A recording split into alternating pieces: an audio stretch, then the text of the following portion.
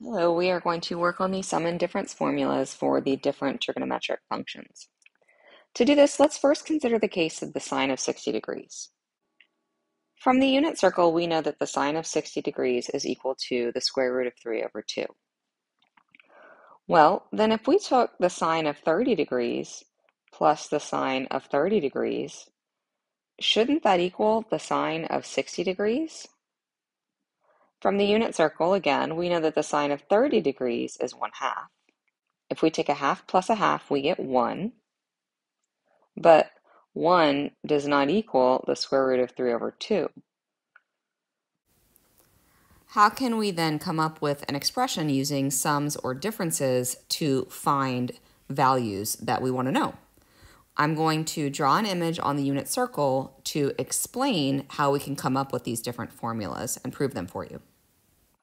All right, in this figure here on the unit circle, where the x is the cosine component and the y is the sine component, I have this point at 1, 0.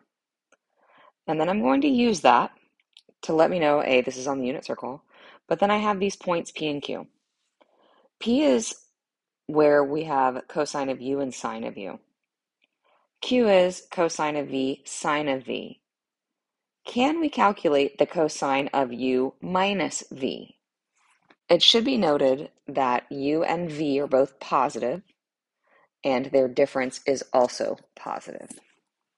I've drawn a new circle where I've got the point r now, that is the cosine of u minus v and sine u minus v for the x and y components. And I'd like to point out that the arc length between p and q and the arc length between r and s are the same length. And because the arcs are the same length, then the um, chords are going to be the same length.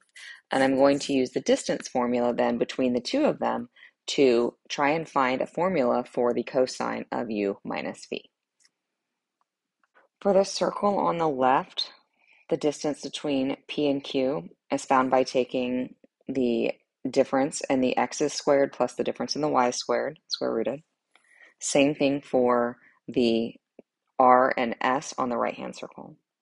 So the, on the distance between P and Q, we've got the cosine of U minus the cosine of V squared plus the sine of U minus the sine of V squared, square rooted. That's equal to the circle on the right, the square root of the R point, which is cosine of U minus V, minus the S point, which is 1 squared, plus the R point, sine of u minus v minus the s point of 0 squared. Now what I can do is I can expand, using algebra, I can expand these squared terms. I'm going to separate them into left-hand side and right-hand side for work, just to work strictly with the left-hand side and then strictly with the right-hand side. When I expand this, I have the cosine squared of u minus 2 cosine u cosine v plus cosine squared of v plus sine squared of u minus 2 sine u sine v plus sine squared of v. And because I have some squared components, remember that the cosine squared of x plus the sine squared of x is equal to 1. So I can match up some of these terms. The cosine squared of u plus the sine squared of u is 1, and the cosine squared of v plus the sine squared of v is 1. That simplifies 2. The square root of 2 minus 2 cosine u cosine v minus 2 sine u sine v. Looking at the right-hand side now, I get the square root of cosine squared u minus v minus 2 cosine u minus v plus 1 plus sine squared u minus v. And remember that the cosine squared of something plus the sine squared of that same thing is 1. This simplifies to 2 minus 2 cosine of u minus v because we already had a 1 in there. Now I'm going to equate the two of those and square both sides so that the radicals go away. 2 minus 2 cosine u cosine v minus 2 sine u sine v is equal to 2 minus 2 cosine u minus v. Both sides have a 2 in common. I can subtract that away. And they are all a multiple of 2. So I can actually divide through by a 2, but they're all also negative. So I'm going to divide through by a negative 2 on all of this. That's going to leave me with the 2 minus 2 cancels to 0. Negative 2 divided by negative 2 is 1. That leaves me with cosine of u cosine of v. Negative 2 divided by negative 2 is 1, so that becomes a positive sine of u sine of v equal to the 2 minus 2 is 0. Negative 2 divided by negative 2 is 1. That's cosine of u minus v. Now if I have the cosine of one angle minus another angle, that's the same thing as cosine of the first angle times cosine of the second angle plus sine of the first angle times sine of the second angle. Each of the other formulas can be derived in the same way. Here are formulas for sine, cosine, and tangent.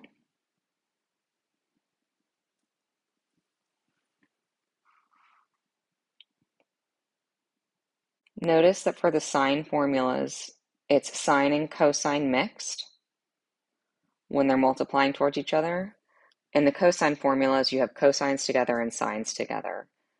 And in the sine formulas, when you have a positive for sine, you have a positive in the middle. When you have a minus for sine, you have a minus in the middle. But for cosine, it's the opposite. Okay. This can be used if we wanted to find, say, the sine of 75.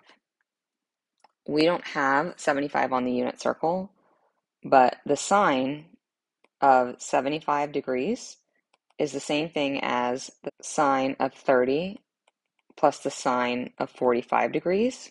And both of those values are on the unit circle. The sine of 30 degrees is 1 half, and the sine of 45 degrees is root 2 over 2. That's the same thing as 1 plus root 2 over 2. Now remember we had cofunction identities where the sine of theta was equal to the cosine of pi over 2 minus theta and the cosine of theta was equal to sine of pi over 2 minus theta. And we had cofunction identities for sine and cosine, tangent and cotangent, secant and cosecant. We can verify these identities using the sum and difference formulas. The cosine of pi over 2 minus theta, that's the same thing as u being pi over 2 and v being theta. So if we have the cosine of pi over 2 minus theta using the cosine difference formula, the cosine difference formula says cosine of u minus v is equal to the cosine of u times the cosine of v plus the sine of u times the sine of v. That tells me I have the cosine of pi over 2 times the cosine of theta plus the sine of pi over 2 times the sine of theta. Well, the cosine of pi over 2 is the x value at pi over 2, which is 0. So I have 0 times the cosine of theta plus the sine of pi over 2 is the y value at pi over 2, which is 1. So that's 1 times the sine of theta. That just leaves me with the sine of theta. So that's verifying that cofunction identity.